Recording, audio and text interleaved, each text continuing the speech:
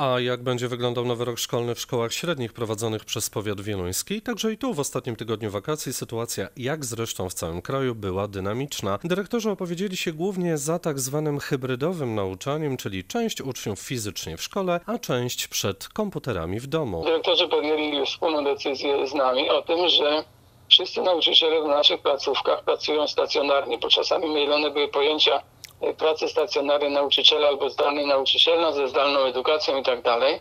A to było spowodowane, no nie oszukujmy się, tym zamieszaniem i budowaniem pewnych modeli funkcjonowania placówek w ostatnich miesiącach, czyli w tych miesiącach jeszcze starego e, roku szkolnego 2019-2020, który się w czerwcu zakończy. A więc wszyscy nauczyciele w naszych placówkach, bez względu na to, jaka będzie sytuacja w powiecie w najbliższych dniach czy tygodniach, pracują stacjonarnie, realizując zajęcia albo stacjonarne z młodzieżą, albo zajęcia zdalne. I tutaj w przypadku największych naszych placówek nie mamy jeszcze wypracowanej ostatniej, ostatecznej decyzji. Mhm. E, e, decyzji, które oczywiście podejmować będą, czy podejmują już w tej chwili, planują, mają projekty tych decyzji dyrektorzy naszych placówek. Mówię tutaj o pierwszym i drugim liceum ogólnokształcącym oraz o pierwszym, drugim i trzecim zespole e, szkół, w których e, kształcimy młodzież na poziomie ponadpodstawowym. Jest tu kilka czynników, które wpłynęły na wypracowanie koncepcji, którą chcielibyśmy wdrożyć i uruchomić od początku roku szkolnego.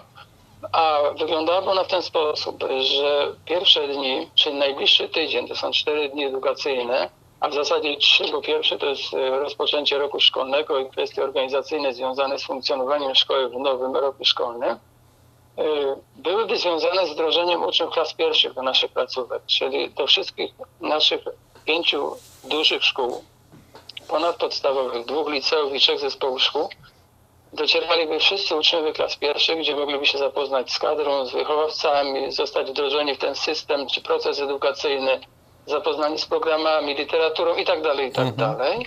W tym czasie pozostali uczniowie Zostają mieliby zajęcia zdalne. Mhm. Od y, pierwszego pełnego tygodnia, czyli dokładnie od 7 września, dyrektorzy zaproponowali i wstępnie uzgodnili z organem prowadzącym y, pracę połowicznie zdalną, połowicznie stacjonarną. Co to znaczy?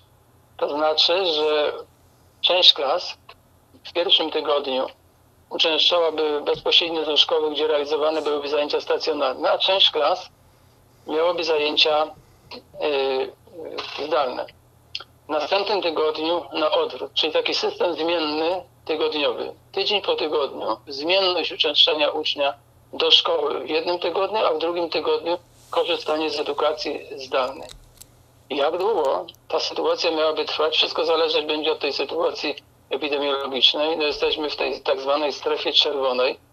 Wstępne informacje, które do nas dzisiaj jeszcze dotarły, nic, się nie, nic y, nie zanosi się na to, abyśmy weszli w strefę żółtą. Ja już nie mówię o zielonej, gdzie ten stopień Mhm. zagrożenia by y, zmniejszył się. W związku z tą strefą czerwoną mamy bardzo poważne ograniczenia, które musieli, musieliśmy też i dyrektorzy musieli wziąć pod uwagę, związane z możliwością dotarcia uczniów do naszych szkół, właśnie tych szkół ponadpodstawowych.